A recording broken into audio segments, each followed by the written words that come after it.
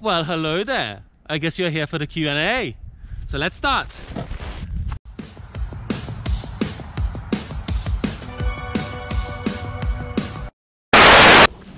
Right, first question is from Marcus and he's asking, what's your worst wipeout story?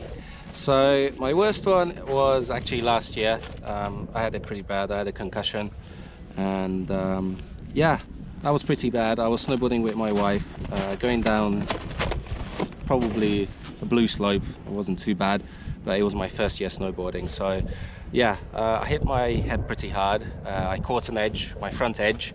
Uh, I did like a full roll, then I banged my head and I had like a con concussion for like a week. That was pretty bad. Um, so yeah, he's also he's also asking uh, how do the locals treat visitors or foreigners living there on work visas. So um, that's a very specific question. How they treat people on work visas. Um, they do like foreigners. Uh, most people are very welcoming and lovely, and mostly they are they are just curious about foreigners. So yeah, they're really nice. Um, so if you if you come here, you're gonna have a warm warm welcome. It does, doesn't really matter where you go in China. Everywhere, everywhere there's there's nice people and they they're gonna welcome you. All right. Uh, next question is from Callum. Now he's asking, what made you want to do YouTube videos? Um, so, so I had this idea for for quite a few years now actually and um, I was living in the UK but I didn't really have anything to to video or film or, or make videos about so I kind of put off that idea and I've been in China for almost two years and I just decided that it's probably a good idea to to do it and share it with people because there's not a lot of um, foreigners doing YouTube videos in China so um, I've decided probably it's a good idea to, to jump on that and uh, see where it goes. Okay, so the next one is from Ray and he's asking, what's the best part of China for tourists? Um, honestly, all China is, is just a big tourist spot in my opinion. Um, I've been to Beijing a couple of times. Um, I do like that one. Um, I've been to Harbin, Changchun, Shenyang, those are all nice places. Um, I mean, the, the biggest one, the fir first thing that comes into into people's mind is, is probably Beijing. So I would say go to Beijing, Great Wall, Tiananmen Square, you know, see, see the, the most important things that other people recommend. Um, just watch out for scammers like Tiananmen Square, um, Great Wall, those those are just full of scammers and they will try to like, you know, pull you into like tea houses or like restaurants and, you know, make you pay like a super expensive bill. So yeah, definitely watch out for those. Uh, also shout out to Ray and his YouTube channel Vacation Impossible. So I'm going to put a link down below. Um, also shout out to Marcus as well. Uh, he's got a YouTube channel called ACMEjack. So link down below as well. Okay, next one is from Succulent Penguino. Now he is asking, why did you start your channel? Um, same reason, uh, like I said um, two questions ago. So I wanted to show people what's it like living in China, what's it like snowboarding here, um, what's the scene like. So um, hopefully people are gonna like it. We see where it goes. Okay, next one is from Clutchmaster R6 what's your special motivation that keeps you going to make YouTube videos? Um, I just want to show people what it's like. I don't I don't think of it as a job, I think of it as a hobby. And um, as long as you do it that way, I think that's that's how you that's how you enjoy it. If you think about it as a job, you're gonna you're gonna lose that motivation to, to do the videos. Alright. Um, I sub Bubby is asking, hello friend, my question is what is the most intense part about your life in China? Language. Right, let me give a detailed answer on that one. So language is pretty intense, mostly because I'm too lazy to learn it properly. So um, yeah, language is probably the hardest thing that comes into my mind when, when we talk about China and why it's intense or difficult. So yeah, language. Okay. Demon Core is asking, how does it make Chinese people feel that lots of them are immigrating to other countries? Okay, so I actually asked my wife um, a couple of months ago about this and my in-laws as well. And um, most Chinese people are very happy that others are, you know, going out and trying to make a better life for themselves of course you're gonna have people saying that oh you shouldn't go you're Chinese you should stay in China and China is like the best country on earth and why do you want to go to like Canada Australia any western country where you know politics are different and all that. So yeah there's there's definitely two sides. I think there's more people that are supportive. So um, yeah Chinese people are pretty open about moving to other countries I think. They're definitely more open than, than Westerners to, to live in, a, in, another, in another country. And also shout out to Demon Core. Uh, I'm gonna put his YouTube channel link down below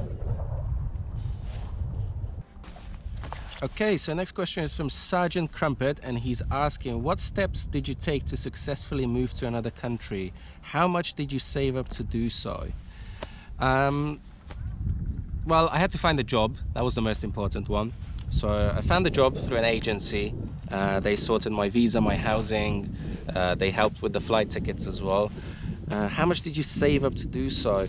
So I saved up about 1,400 British pounds. I don't exactly know how much that is in, in US dollars. I'm gonna put it somewhere down there.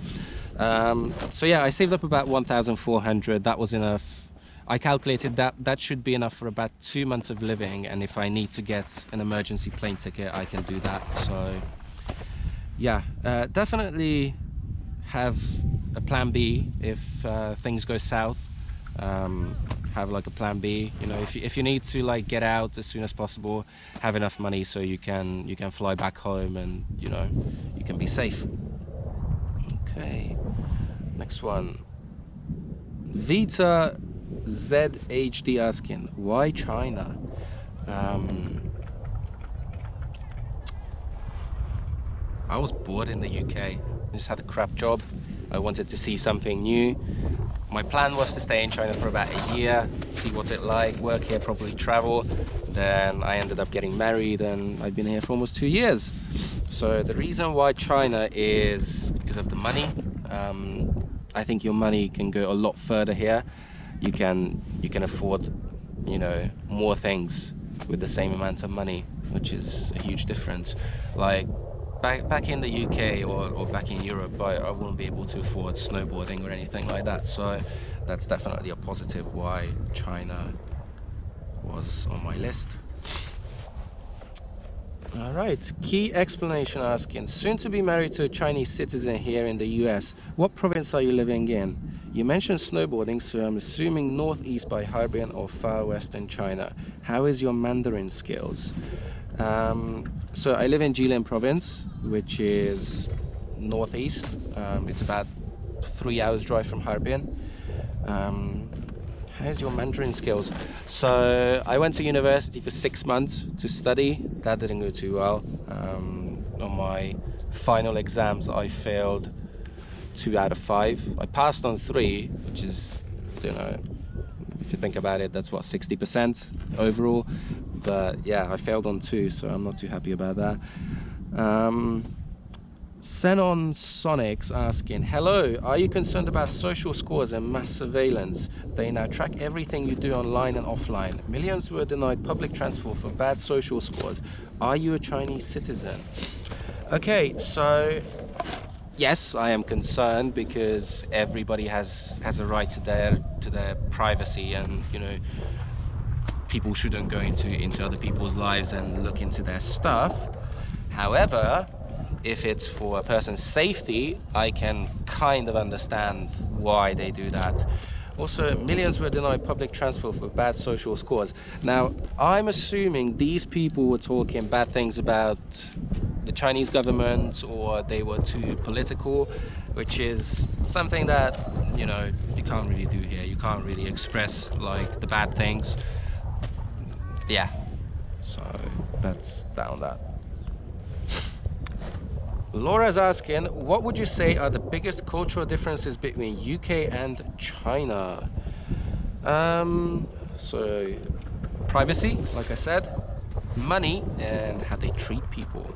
So privacy is because everybody wants to know what you're up to, what you're doing, how much you earn, where do you live, what's your job, are you married, do you have any kids?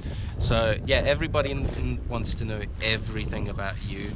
Um, money is just the way people treat money. I think people are more careful here with their money and they really think about what they spend it on um, and also how they treat people. So, like I said, foreigners are getting, you know, pretty nice treatment here. Like every foreigner that comes here, they, they go away with a positive experience. So nobody goes away saying like, oh, I don't like China. People are so bad. They were so unwelcoming.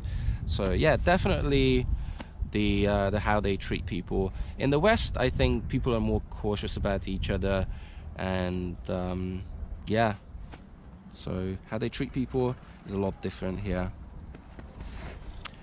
Moreno 2729 is asking, are soup dumplings popular where you live?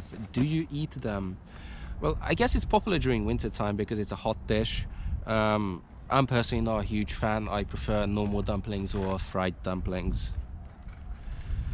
Uh, Sparta Blocks asking, how free slash open is the internet there? What big sites can't you visit, if any? So you can't visit YouTube, Twitter, Facebook, Instagram, so like the big social sites. Um, so if you want to check any of those or go onto YouTube like I do, you need a VPN. Um, you can get free ones if you don't want to pay for it, but those are not super reliable. Um, the, the internet is actually pretty strict. Like adult content, there's zero. You can't find any any anything like that.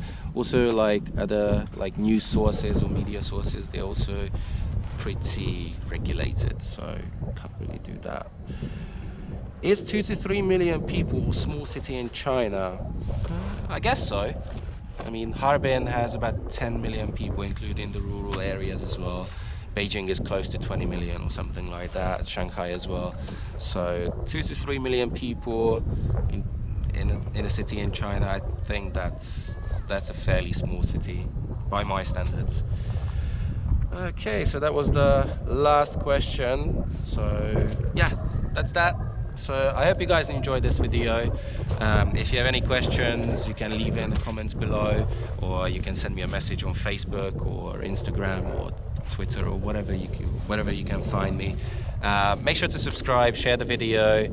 Um, all the shout outs were done. So your links are down below, guys. Uh, check them out. They have some amazing channels going on. So yeah, definitely check those out and I will see you guys in the next one.